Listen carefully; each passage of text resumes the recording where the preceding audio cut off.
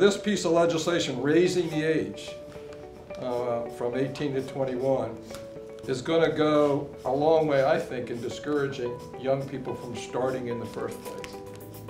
It will help us reduce cancer deaths. It will improve the quality of life of all of us. It will reduce healthcare costs. We know that this bill will save lives, and that's why we're here, and that's why we're excited. We know this will uh, prevent the number of young people who start smoking every year. About 400 young Delawareans start smoking. We will prevent that.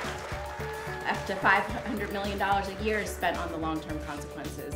We can use those funds to help uh, promote the promise of the future for our young people.